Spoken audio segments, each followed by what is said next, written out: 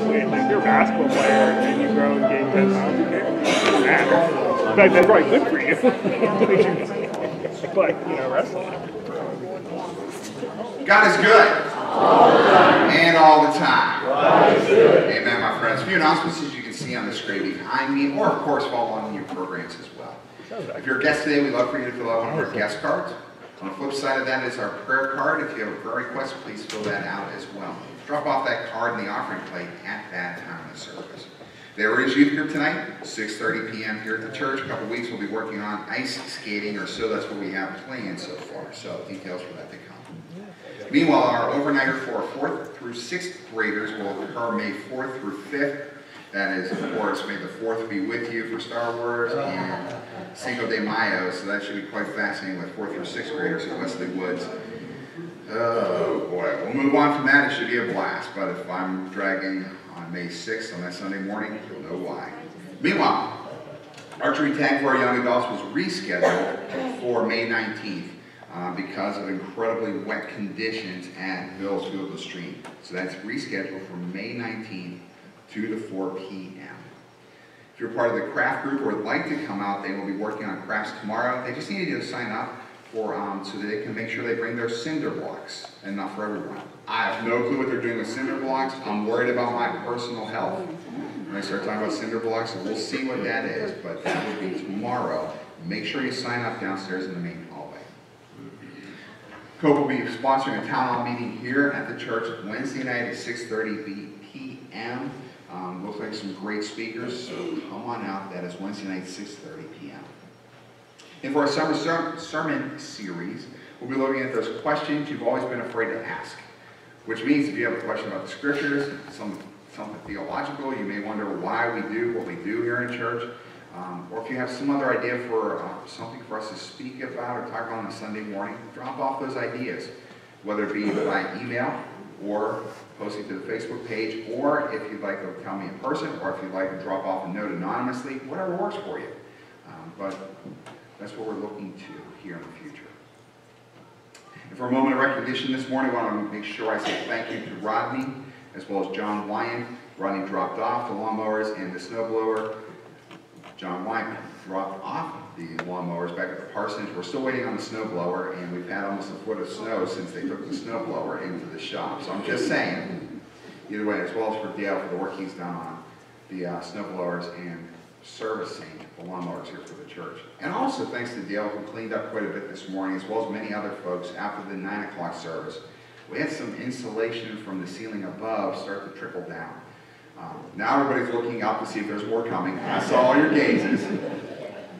It's not the first time it's trickled down, and probably won't be the last time until we renovate the ceiling, but um, it was, if nothing else, a reminder of the work that needs to be done thanks to Dale and everyone else. As well as thanks to uh, Bill Probst, as well as Brad Bridges, when um, they, they made sure that the new dehumidifiers for the preschool were put in downstairs and put in well. And finally, I want to make a couple mentions, although I'll probably miss someone here, but um, do you know this? Megan Reed, who right now is with our kids in the nursery, Megan was one of the seniors uh, commended for her outstanding performance at Mercer County Career Center. She was nominated for an outstanding senior for 2018. And, um, and then also for Ian Titus, who's um, in the back row hiding right behind Bob Follow, which means, of course, yeah, everybody knows where you are, Ian. That um, Ian was represented Mercer High School in the Extreme Leadership Program throughout the 2017-2018 high school year. So, Ian, well done.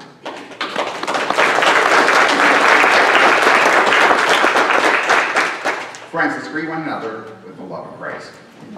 I went to school before extreme leadership. They, we didn't have leadership when I went there.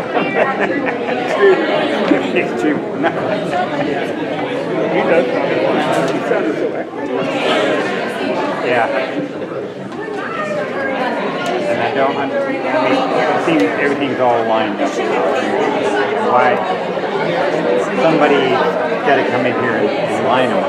You know is not knowing that, like, you're not here, I can't hear something, I have to. I just have yeah. to make part, I can't go on. I know. I know it's fun. That's why I tried to tell you. Oh, I think I told you that like six. Right. Like two material handlers, I don't know why Well, we joke all the time. Oh, no, we, but... I was just asking you. are a blade of grass. Or blade of grass yeah, he. He's got a microphone. Well, that's what I mean. Something special. Yeah. Right. Unless he has someone else come and speak. Yeah. They can speak.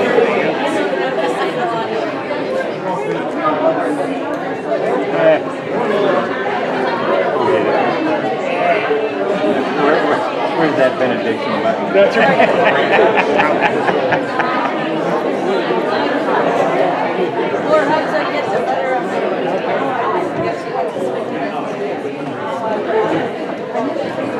I, I get it.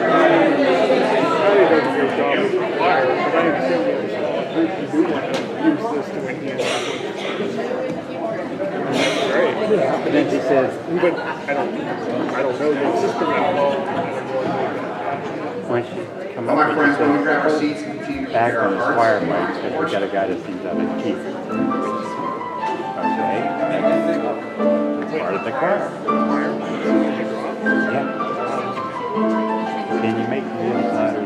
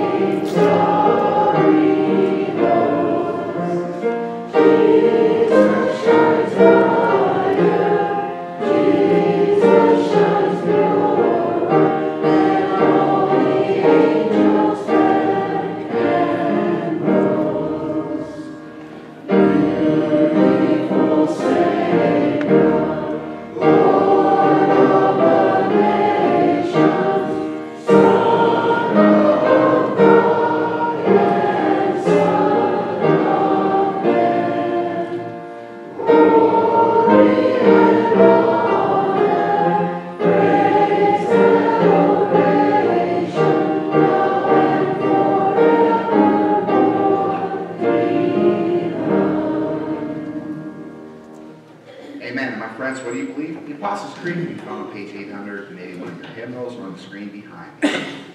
But what do you believe?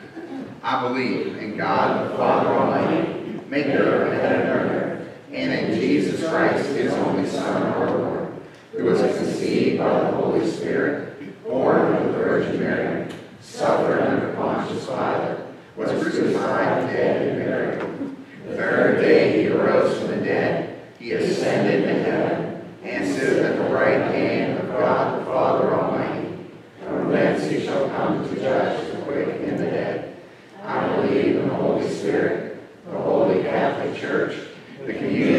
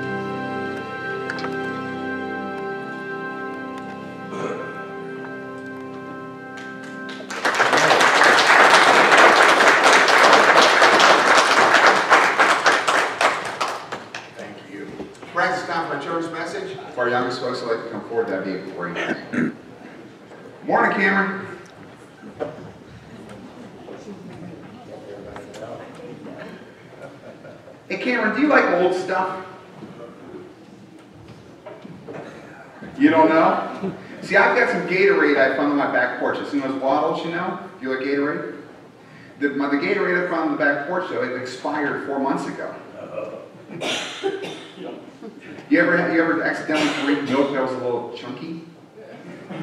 No? Good job, Mom. Because um, I've accidentally done that. It's not a pleasant feeling. It's sort of like milk that's got cottage cheese in it. It doesn't, yeah, but it smells bad. Yeah, there's some things that when they go bad, they just are not good. But if you want, I can get you the Gatorade. It's only four months old, expired. Cameron, you don't look like you want to take that gift from me, do you? Yeah, there's some things that you just do not want when they're way too old. Like, um, you ever, in your refrigerator, you ever find something in there that was, um, that not too pretty? Like we had, um, we had tomato paste and it looks red like tomatoes. Multiple times Tina and I will lose in the refrigerator and I'll be coming out green. Yeah. Do you want me to bring that in for you? You do? No. No, because we don't want to eat that. There are a lot of things that when they go bad, they aren't good for you. The neat thing, though, is with Jesus, it doesn't go bad. What did we celebrate two weeks ago? Do you remember? Great job, Kim. That's right, we celebrated Easter. So I've got leftovers for you from Easter. Like the eggs I, Tina and I hid around the house, the hard-boiled eggs. They're only two weeks old. No, smart girl. That's not what's in there at all. We have other eggs. But instead, Cameron, the one thing that, we're, that I was thinking about getting ready for today is that at least with Jesus, things don't get old. From uh, 1 Peter chapter 3, verse 18, it puts it this way. For Christ Jesus died for sins once for all, the righteous for the unrighteous, to bring you to God. In other words, he did it once, and it's done. It's not going to get old. It's like new every day. The fact that Jesus died for you and for me. So, milk gets bad. Tomato paste in the fridge. Mm. Those eggs that you maybe hid around the house, the hard-boiled ones. We found one in my house growing up.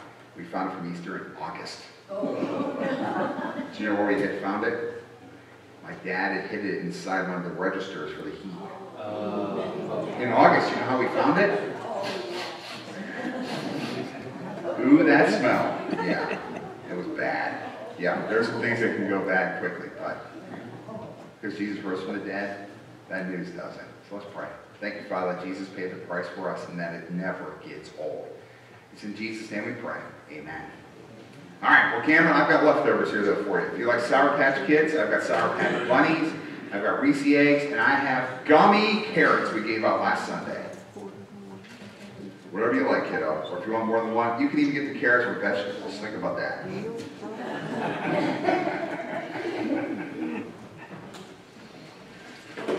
Friends, is there anything we need to be praying for, anything you want to thank God for, or anything you want to praise God for who God is?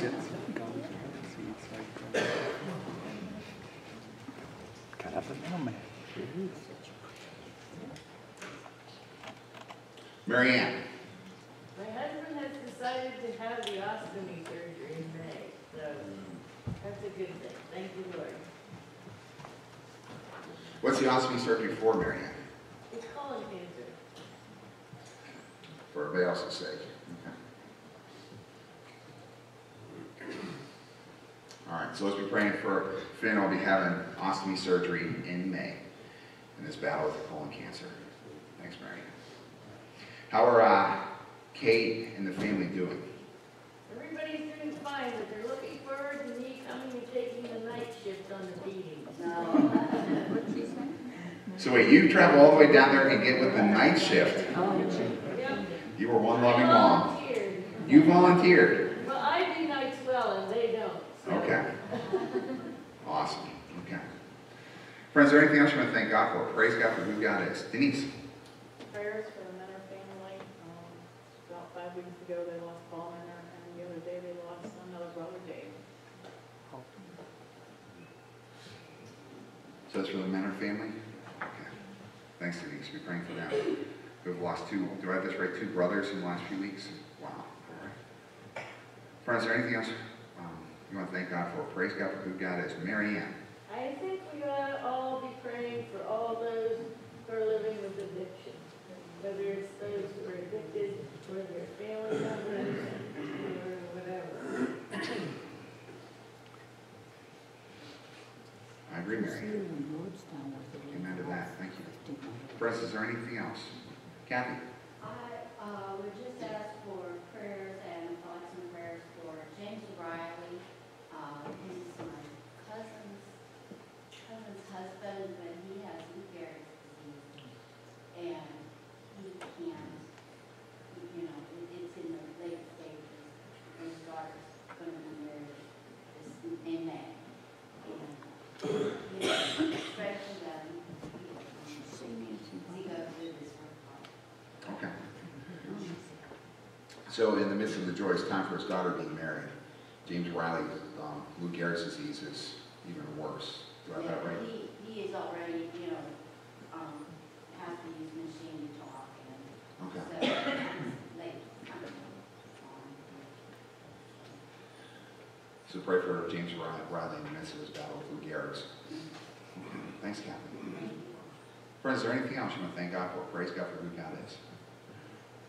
Couple things. One, um, Susan Spears' nephew TJ, who we mentioned last week, who had lost his arm. The arm's been reattached, but it's still a long process, hoping that the arm will actually be usable and not just there. But to be praying for TJ in the midst of this, I can't even imagine this, um, the attempts at therapy and to live life, well, and everything else that goes into your life being that radically changed. And also Mark's brother Terry, who we were praying for, is doing much better, was even able to be at home by himself. We also want to lift Mark up because he'll be, um, at least with, because of work, we move into West Virginia. So Mark's been willing to sing in the cantata and the choir here and wherever else Sue Suckers. Did I say that out loud? That's about it. That's about it. So in the midst of this um, job change, be praying for Mark as well. Mark, you've been a gift. Thank you. Friends, is there anything else you want to thank God for? Praise God for who God is. Glenda. I just really appreciate the last couple of days of weather. I felt we all needed rays of sunlight and it certainly lifted me up on the road. I know. hmm I agree. What a gift the weather was. I was stuck in training Thursday and Friday, but it was nice to go outside and see what everybody else was able to enjoy. yeah, I agree with you, Glenda. Thank you. Friends, let's go to the Word together in prayer.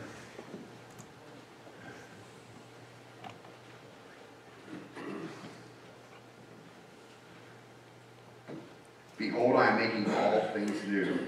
Jesus, you say that, at least we read in the book of Revelation, however that came about. We're thanking you that you're in the business of making all things new. And yeah, we can turn you into a boring individual. Father, forgive us. Move in our hearts to see the wonder and joy of life live with you. If you're the one who will lead us by your Holy Spirit as though, as though it's someone being blown around like the wind, then why in the world do we allow you to be boring? Father, we thank you for how you move and work in our lives, period, in our lives, that you, God, are moving and active, that you've never left us alone, that you constantly care and love us. What a gift it is to be loved by you, the creator of heaven and earth, and you love us, that you continue to move and work in our lives. Unlike the milk that's gone bad in the fridge or the leftovers we lose track of or the Gatorade in the back porch, you do not become old. We sometimes can celebrate you. It doesn't matter whether it's a new worship service, contemporary worship, traditional. We can turn you into old or outdated or boring. Forgive us, Father. Jesus obviously shows us that life with you is not boring. Tables being thrown, late night prayer sessions, talking with people, dealing with accusers. Forgive us, Father, for how we can turn you into boring. Forgive us how we individually can treats you as ho hum. You are the God who moves and works in our midst. If you're the one who's somehow in this incredible way helped TJ's arm to be reattached, in spite with the surgery and whatnot, let alone for everything to have worked so far, we give you thanks. We pray for continued healing in Jesus' name. We're thanking you, Father, for providing for Mark with the new job in West Virginia. What a gift. Prepare the way. It's in Jesus' name we pray. We thank you so much for how you've um, moved in Finley's heart the desire to have the ostomy surgery in May, let alone the opportunity for Marianne to go see Renee and the family in Mexico and be able to serve in the midnight shift. What a gift. We thank you in Jesus' name. We thank you for the gift that the weather is, how incredibly tied to the weather that we are as human beings. Thank you for the beauty of the last few days and that the snow's gone. What a gift. It's in Jesus' name we pray. And Father, we also come before you and we're asking you, James Riley, give us strength and his family perseverance in the midst of his battle with Lou Gehrig's disease and his daughter's upcoming wedding. Father, we pray for those moments where James is able to be there the way that he can. We're asking for this in Jesus' name. We ask, Father, that you be with the Menor family in the midst of losing two brothers in, in just around a month's time. We're praying, Father, for your spirit of comfort and peace to be with the Menor family, and we ask for this in Jesus' name. Father, thank you for praying good work in our lives. Thank you for how alive and powerful you are. Thank you, Father, that with you all things are possible and that you're in the business of making all things new. We thank you and praise you as we pray, as Jesus taught us to pray. Our Father, who art in heaven, hallowed be thy name. Thy kingdom come, thy will be done, on earth as it is in heaven. Give us this day our daily bread, and forgive us our trespasses, as we forgive those who trespass against us. And lead us not into temptation, but deliver us from evil. For thine is the kingdom, and the power, and the glory forever. Amen. Morning, Marianne. Our scripture lessons this morning come from 1 Peter chapter 3 and Luke chapter 16. Peter 3, 18 through 22. For Christ also suffered for sins, the righteous for the unrighteous, to bring you to God. He was put to death in the body, but made alive in the spirit. After being made alive, he went and made proclamation to the imprisoned spirits, to those who were disobedient long ago when God waited patiently in the days of Noah while the ark was being built. For it only, in it, only a few people, eight in all, were saved through water. And this water symbolizes baptism that now saves you also. Not the removal of dirt from the body, but the pledge of a clear conscience towards God. It saves you by the resurrection of Jesus Christ, who has gone into heaven and is at God's right hand, with angels, authorities, and powers in submission to him. Luke 16, 19 through 31. There was a rich man who was dressed in purple and fine linen, and lived in luxury every day. At his gate was laid a beggar named Lazarus, covered with sores, and longing to eat what fell from the rich man's table. Even the dogs came and licked his sores. The time came when the beggar died, and the angels carried him to Abraham's side. The rich man also died and was buried. In Hades, where he was in torment, he looked up and saw Abraham far away with Lazarus by his side. So he called to him, Father Abraham, have pity on me and send Lazarus to dip the tip of his finger in the water and cool my tongue, because I am in agony in this fire. But Abraham replied, Son, remember that in your lifetime you received your good things, while Lazarus received bad things. But now he is comforted here, and you are in agony. And besides all this, heaven, all this between us and you is a great chasm. It's been set in place so that those who want to go from here to you cannot, nor can anyone cross over from there to us. He answered, Then I beg you, Father, send Lazarus to my family, for I have five brothers. Let him warn them so that they will not also come to this place of torment. Abraham replied, They have Moses and the prophets. Let them listen to them. No, Father Abraham, he said, but if someone from the dead goes to them, they will repent. He said to him, If they do not listen to Moses and the prophets, they will not be convinced even if someone rises from the dead. Friends, it's the Word of God, the people of God. Amen. Let's stand together. if You're able.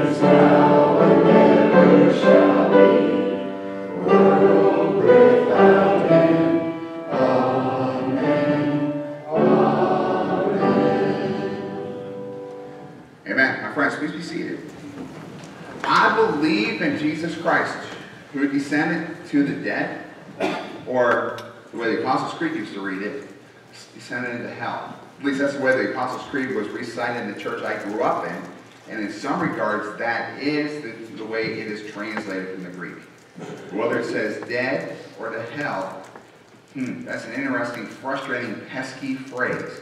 That Jesus descended to hell? What does that mean? I mean, is hell even real? Jesus spoke as though hell is real. Matter of fact, he spoke about hell as much as, in, as the other two of his top three topics. His number three, or top three topics that Jesus spoke about were the kingdom of God, money, and hell. So if Jesus spoke about hell as a reality, we need to look at that as well, that hell might be real. That being said, as Christians, we don't focus on hell. That's not the purpose. It's instead about Jesus Christ who resides in heaven. Our focus is not on how we fail, but how Jesus has saved us. But if Jesus spoke about hell being real, we do need to look at that as well. As for me, as many questions that are raised in my own head this morning as answered, this much I do know. That Jesus loved me enough to die for me. So I believe in Jesus Christ. I believe in Jesus Christ. The Apostles' Creed, as we didn't read it this morning, but if you look at the note card that was in your program, the little postcard or whatever you want to say, there should have been in your programs, we may have run out, where it has the Apostles' Creed on there. It does have the line in there, descended to the dead. But at times, it's also translated descended into hell. Here in 1 Peter chapter 3, this is the major passage that points to the fact that Jesus may have descended into hell. And even this is tricky or sketchy. Where do we get that? 1 Peter chapter 3, verses 18 through 22. For Christ also suffered once for sins, the righteous for the unrighteous. Time out. Righteous, Jesus, unrighteous, you and me. In other words, folks who measure up compared to folks who don't measure up compared to Jesus who does measure up. To bring you to God. Jesus was put to death in the body, but made alive in the spirit. After being made alive, resurrection, Easter Sunday, Jesus went and made proclamation to the imprisoned saints, to those who were disobedient long ago when God waited patiently in the days of Noah while the ark was being built. Now, there are a couple things to say about that passage. One, it is very easy to understand. That's called sarcasm if you couldn't read that there. Martin Luther, father of the Protestant Reformation, Martin Luther put it this way in this passage. This is a strange text, and certainly a more obscure passage than any other passage in the New Testament. I still don't know, do not know for sure what the apostle meant. Thank you, Martin Luther. That just cleared things up. That sarcasm being set aside, so Martin Luther was willing to face death, let alone being cast out of the Catholic Church during the Protestant Reformation.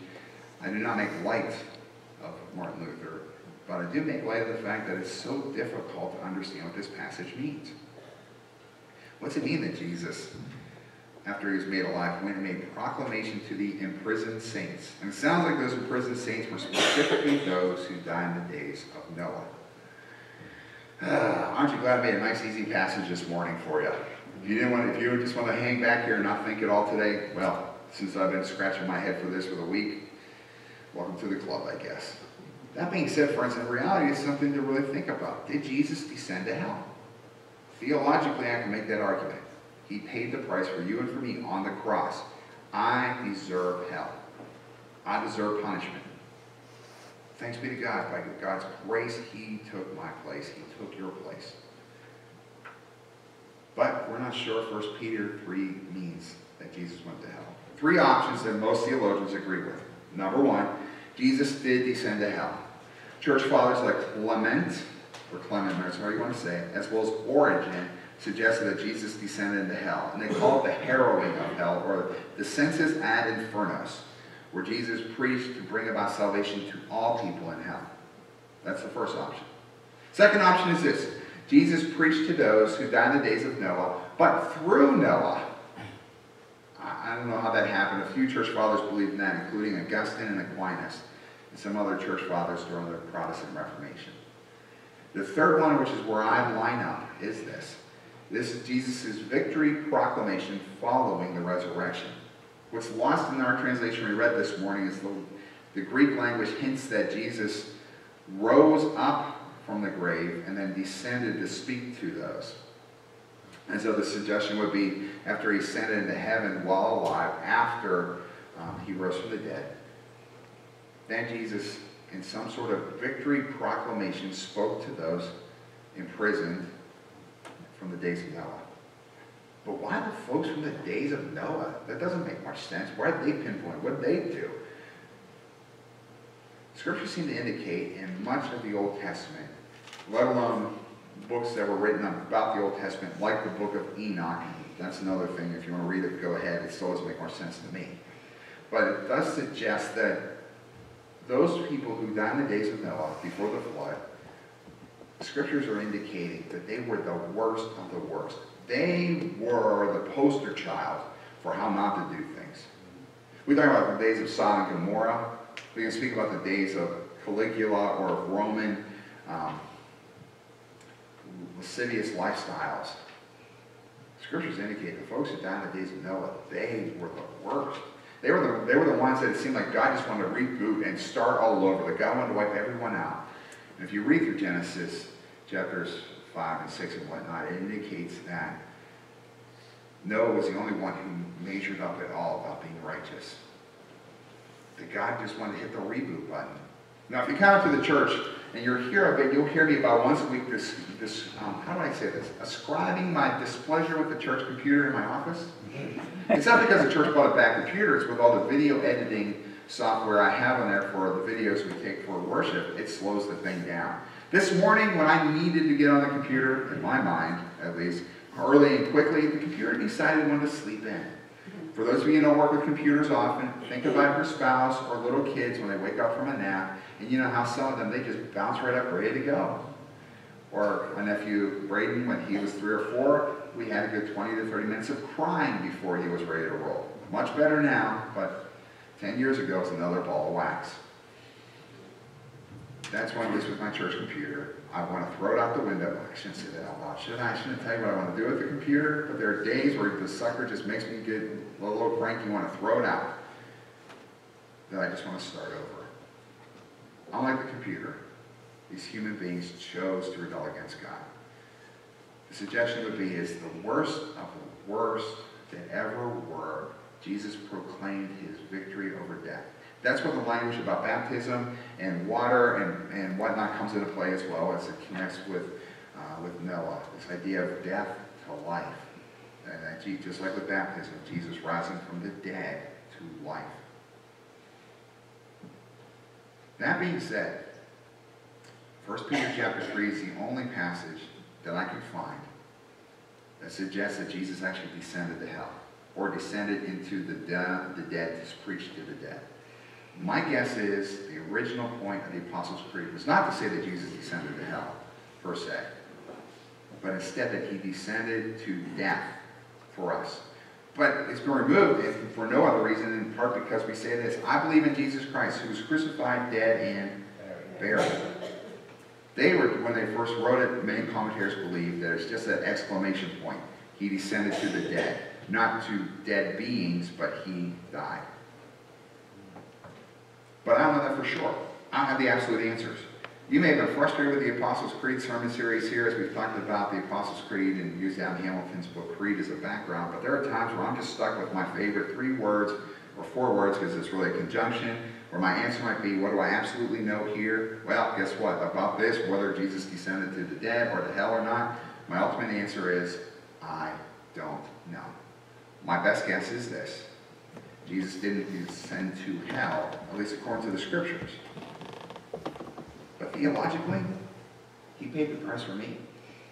And if we take a light view of sin in our own lives, maybe that's where we get squeamish. Maybe that's why we don't like to talk about hell.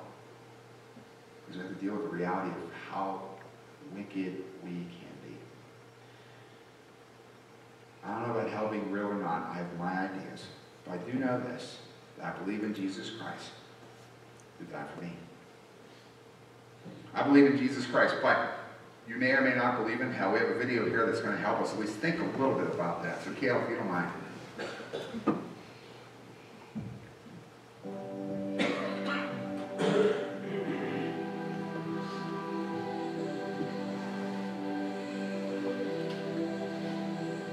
When you die, you die. There's no more life in the body. I just think that's it. You know, I have a very scientific point of view on it.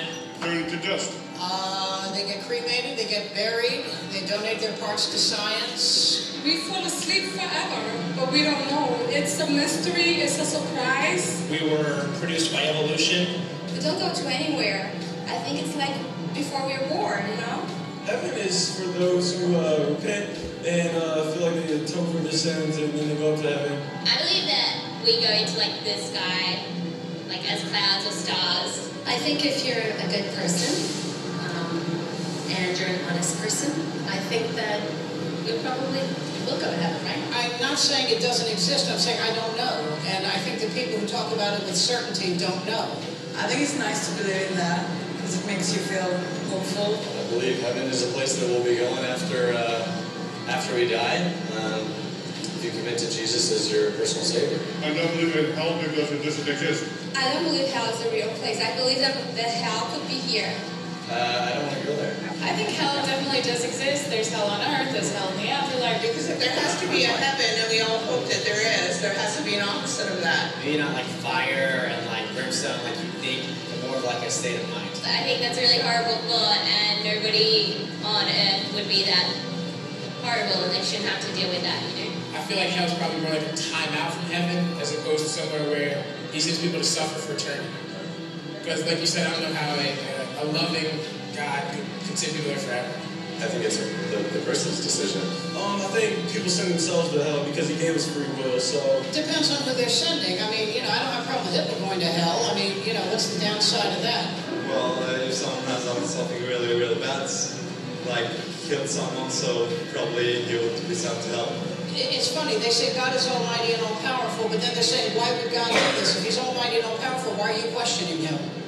You know, he does what he does, or she does what she does, or it does what it does, you know. We make the decision, and once we receive Christ into our hearts, then we will go to heaven. Everybody has a second chance every day.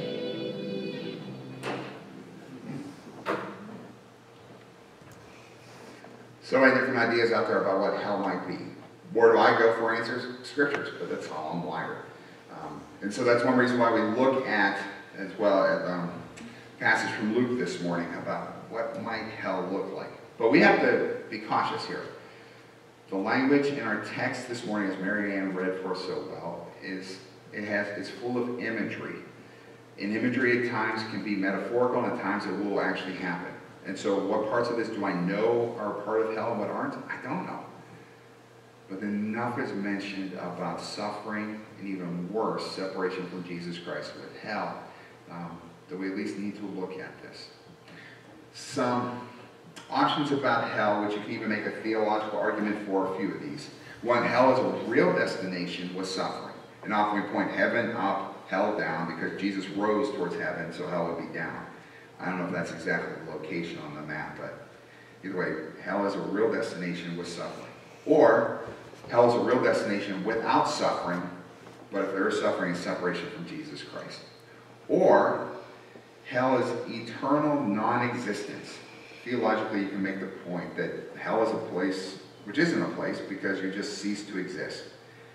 Some would say because scriptures such as from 1 John chapter 3, God is love. And if God is love, how could there be a hell? My suggestion would be God lets us choose. Thanks be to God for all of God giving us free will. We can choose where to go. But there are those who make the argument hell is a non-existent state. Finally, those who would just say hell's fake, as we saw in the video here. Some folks just don't think about it. On a side note, as we watched the video again this morning, I was reminded of my dad. Um, years ago when we were teenagers and I was trying, trying to share the gospel with him, he mentioned once, well, Brian, when you die, you just die, you cease to exist. And then my dad had terminal brain cancer. And that went from, with the lung cancer, I should say, that was terminal with the tumors in his brain, where he went from that to, he suddenly wanted me to be his pastor. And my thought was, well, Dad, you just cease to exist. Why do you need a preacher? You're just going to cease if that's where you are. People change. We'll get to more of that in a bit. Either way, folks, even those who say that you just cease to exist for many of the kids there in the video, the older you get, the more you realize death is reality, the more I hope people start to think. For me, I believe hell's a real place. I believe it's a destination. I don't want to. I'd rather believe that there was non-existence or that everybody went to heaven, but that's not what the scriptures indicate. Images of hell include burning sulfur, fire, furnace, the abyss, where it's described with thick smoke and locusts who sound like they're demons and they sting you like scorpions. I've never been stung by a sting scorpion, although we almost had a wasp. Did somebody thank you, Kale, for being our wasp killer? He's up for rent. I don't think Kale, yeah, you don't need any more work, do you? Hell's also described with condemnation, darkness with weeping and gnashing of teeth, destruction, eternal punishment, Gehenna, which was also the, the, the local trash heap which was constantly burning outside of Jerusalem. It was a disgusting place as far as I can read. Um, hell's described as being a lake of fire, the second death, and ultimately an exclusion from God's presence. What didn't make it into my notes this, this morning, though, was also in the Old Testament, especially, hell is described as a place where you reside. My battery just went out, Merle. Anyhow, I'll just get louder. Everybody's so thankful when I do that. Where um, hell is a place where you spend a lot of time with worms. So a few different places where that shows up here. Please forgive me as I grab it on my phone. One is from Job chapter 7, verse 5. My flesh is clothed with worms and clods of dust. My skin is broken and become and become a loathsome. Although Job 17, verse 14 puts it better. I said to the pit, Thou art my father, to the worms, my mother and my sister. Even if Job in those passages is speaking more about the suffering he's going through, some theologians believe he's also pointing at the idea of what hell is like. From Psalm 49, Death will give them their food like sheep. The underworld is their fate, and they will go down into it. Their flesh is food for worms. Their form is wasted away. The underworld is their resting place forever. Psalms are actually full of places where it speaks about somehow the, the resting place for the wicked is filled with worms. Isaiah chapter, I'm going to skip Isaiah because I can't read my own handwriting. Please forgive me. And then Mark 9, 44. In that place, worms never die and the fires never put out. And it says the same thing in Mark 9, 46. This idea that hell also has to do with worms. I'm not sure if this is earthworms or maggots. That's my guess. Whatever it might be, this is not the place you want to be. If you're thinking that's not so bad, watch something like Fear Factor whenever I was a teenager growing up and they had kids eating worms, or you're crawling around in a cesspool of worms, or watching Indiana Jones in the Temple of Doom movie with all the bugs all over the place. That's a little creepy. And now everybody's disgusted by what I just said, or even more so, what I've actually put into my mind.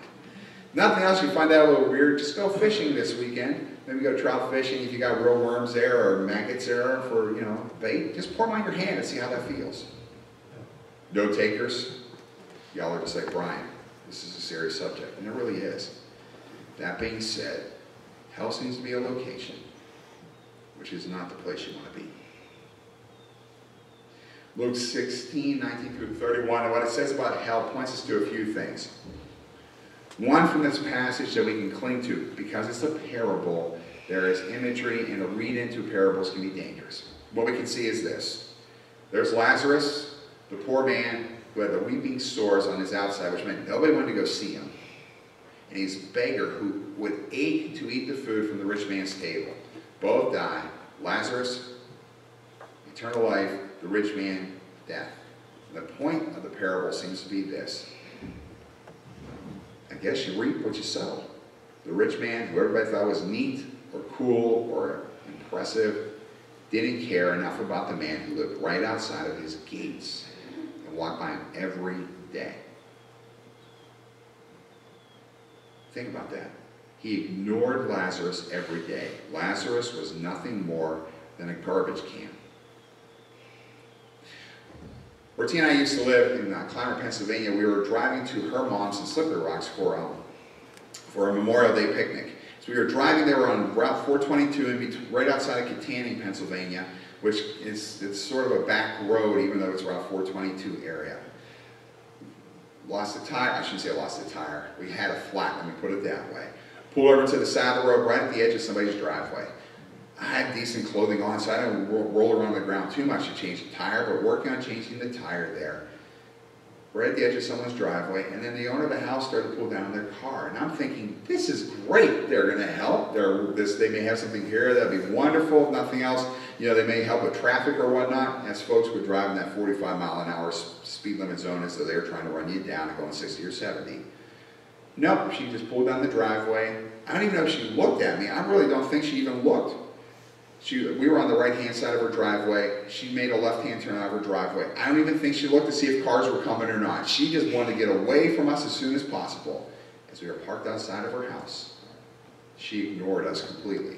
I have an idea of what maybe someone like Lazarus would feel. You're useless. You're nothing but a garbage can. Lazarus, day by day, was outside of this man's house. They both die. And Lazarus goes to heaven, is greeted by Father Abraham, which for Jewish folks would mean that he was someone who was of Jewish worth. Meanwhile, the rich man went to hell. He descended to Hades, is what the technical wording here would be in our, in our in Greek here, but the Hades becomes hell. We'll leave it there. The rich guy everybody thought was impressive, hell. We see suffering, we see heat. He's aching for a glass of water. And when he finally finds Lazarus of worth, he says to Father Abraham, send Lazarus to give me some water, please. Nope. Well, send Lazarus to tell my brothers. Nope. They, if they wouldn't, let's get this straight. No, Father Abraham, he said, but if someone from the dead goes to them, they will repent. And he said to them, if they do not listen to Moses and the prophets, they will not be convinced, even if someone rises from the dead. It does seem like there's some sort of suffering. It does seem like in our parable here, that the rich man didn't show enough caring for someone else, that that's where he ends up. That instead of heaven, he ends up in hell. And that ultimately this chasm this separation from God is an eternal thing that comes with hell. The metaphorical may be true and may not be true about the, the sulfur and the fire described, this broad and physical expanse between heaven and hell, that Abraham's the gatekeeper between us, I think that's the least likely of the possibilities. Just like many of our jokes might have Peter waiting for us at the pearly gates. Most likely not a reality. We can see here is that hell is a place we want to be. One reason why we spent so much time talking about the Apostles' Creed and emphasis the last few weeks on heaven is that that is the place we want to be. Hell is not. For Christ also suffered once for, for sins, the righteous for the unrighteous, to bring you to God. Reminder here, my friends, if you know of someone who doesn't know Jesus Christ, As far as I can read the scriptures, and I don't even want to say it, as far as I can read, hell is their destiny. This is terrifying. Even if hell is non-existent, that means that person no longer exists. You need to treat this with respect. You may not agree with me. You don't have to. But when Jesus speaks about hell as much as money in the kingdom of God, more than he talked about forgiveness of sins, more than he talked about this resurrection from the dead, that tells me Jesus finds hell important. Your assignment for this week, well, this is fun. Merle, by the way, thank you so much for what you've done here to make me even hearable. Well done this morning. Your assignment this week, my friends, is pray for someone you fear does not know Jesus Christ as their Lord and Savior. Pray specifically for a chance to tell them about your relationship with Jesus. Pray for it. Here's what I do. Just between us, I pray for it, then I practice what I may say, and don't expect that I'll anything I say I'll ever say, or anything I practice I'll ever say. I'm supposed to have this all down packed, because you know, I'm an expert, I've practiced, went to seminary, I squeezed three years of school into 10 years. I is that kind of student. Henceforth, if you think you don't have all the answers, neither do I. Some things like about hell here ultimately, what do I absolutely know? Well, I can give you my answer. I don't know. My, as far as I can tell from the scriptures, this is what they say. That there is a real hell, that there is suffering. Ultimately, the worst part is the fact that we are separated from Jesus Christ. That's your assignment for this week. But why pray? No, Father Abraham, but if someone from the dead goes to them, they will repent. Father Abraham said to him, if they do not listen to Moses and the prophets, in other words, if they won't listen to the Bible, they will not be convinced even if someone rises from the dead. For us Christians, we claim that Jesus rising from the dead. That means God can do anything. Why did Jesus die in the first place? To pay the price for you and for me. Thanks be to God who's willing to do that. Thanks be to God. It's about God's grace for us. We've talked a lot about hell today, my friends, but what is more important? Heaven or hell? It's so much more important about what we have promised to us than what is against. But even heaven is not the great thing. It's this incredible love of God that we see in Jesus Christ. That Jesus would pay the price for us because I'm saved by. Grace. Good morning. How's everybody doing? You didn't think I'd sneak that in there on you, did you? You are welcome. For those of you who just woke up, here we go. And if you're a guest today, well, then we just, you know, this is what we do because if nothing else, folks here in the, uh, you know, folks here in the congregation, they just put up with me and humor me. Ready? We are saved by grace. Being saved, up? Yeah. It is not a. We don't earn it. Thanks be to God, Jesus did it for us. The righteous for the unrighteous, as we read in 1 Peter. He paid the price for us. Friends, I believe in Jesus Christ. I'm not, I don't know if Jesus descended to hell. My guess is he did not. I do know he died for me. And in that regard, he descended to the dead. Thanks be to God. I also don't know if hell exists or not, but my belief is, as best as I can understand it, is hell does exist. And that is a place for folks who choose to not know Jesus Christ. Pray for the folks you know who don't know Jesus. This is serious business. It's got eternal consequences. Thanks be to God for the incredible love of God that Jesus was willing to price for, pay the price for you and for me. I believe that Jesus was crucified, dead, and buried. That he descended to the dead. Amen. Amen. Friends, would you pray with me? You can find the prayer on the screen behind me. Um, although I encourage you instead to close your eyes, turn your hands up to heaven. Let's talk with God as we pray. Lord God, loving Father. Lord God, Lord Father. I love you. I love you. Thank you, Jesus, for dying for me. Thank you, Jesus, for dying for me. Thank you, Jesus, for forgiving me. I thank you, Jesus, for forgiving me. Grant me the courage to talk about Jesus. Grant me the courage to talk about Jesus. I pray in Jesus' name. I pray in Jesus' name. Amen. Friends, let's continue to worship through the giving of our tithes and our offerings.